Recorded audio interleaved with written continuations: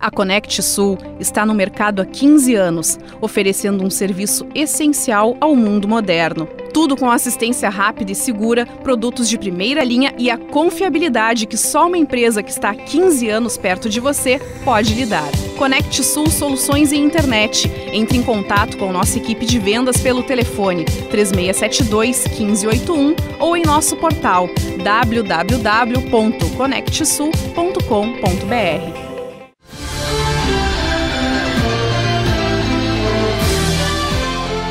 da quarta-feira, 17 de maio, uma gravação envolvendo o presidente da República causou um grande alvoroço nacional, principalmente no setor jornalístico e político do Brasil. Direto de Brasília, o assessor de comunicação da Prefeitura, de TAPES, Voltaire Santos, acompanhava a marcha dos prefeitos e relatou para a Lagoa TV como foi a noite e também essa manhã em Brasília. Olá, Kevin. Bom dia. Bom dia também a todos os espectadores da nossa Lagoa TV. É um dia histórico negativamente aqui em Brasília.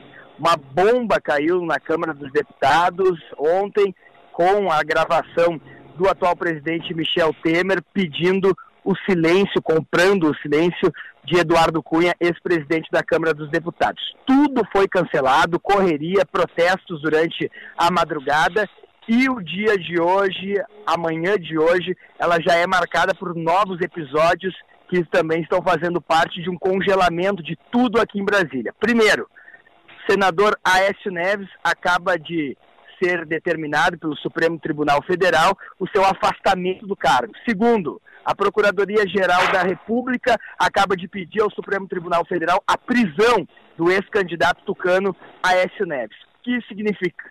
Neste momento, três operações da Polícia Federal, uma em Belo Horizonte, outra aqui em Brasília e outra no Rio de Janeiro, tentam prender o tucano Aécio Neves e também recolhem buscas do senador Aécio Neves. Isso impacta o Brasil inteiro, mas falando aqui diretamente com a nossa região, a gente tem que saber como vai impactar as cidades.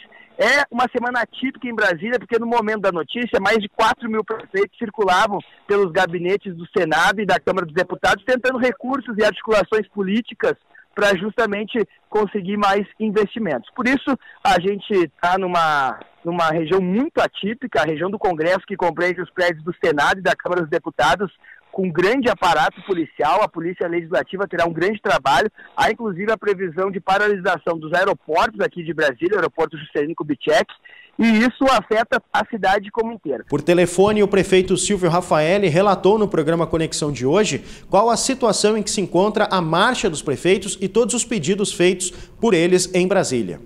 É, mas eu acho assim, eu acho que nós temos que passar por isso. A democracia nossa é jovem, é muito jovem, e que nós temos que passar por esse aprendizado, esse aprendizado que nos vai custar um pouquinho caro, principalmente para os municípios, onde nós tínhamos aqui umas certas resoluções feitas e, e, conseguidas que agora a gente não sabe como fazer. Os prefeitos de Cerro Grande do Sul e Mariana Pimentel também comentaram o que acontece em Brasília. Então a gente vem, se esforça nessas marchas para conseguir alguma coisa, né? mas está muito complicado. Vamos ver como é que vai terminar isso aí uma boa sorte a todos, a todos os prefeitos que se encontram aqui.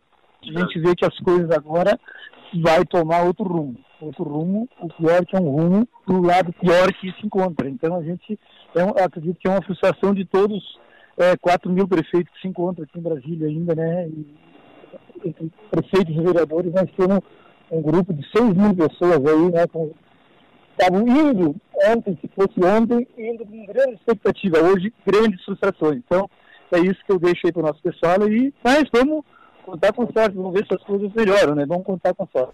Ainda de Brasília, por telefone, o assessor de comunicação Voltaire Santos, que acompanha a marcha dos prefeitos, relatou os problemas na comunicação e as dificuldades enfrentadas, inclusive para o envio de imagens através da internet. Desde que estourou o escândalo do Temer, a gente percebe que a internet está muito fraca, e não é um relato meu, é um relato de pessoas do Brasil inteiro, tanto o sistema 3G, 4G, o próprio Wi-Fi, está terrível, ninguém consegue mandar material, a imprensa sofrendo muito para se trabalhar e a gente percebe que não há uma grande vontade de política de arrumar esse problema de internet e que inclusive há boatos já aqui em Brasília que realmente esse corte na conexão de internet aqui no Distrito Federal é justamente para tentar impossibilitar o grande fluxo de informações que, por exemplo, um WhatsApp hoje está possibilitando.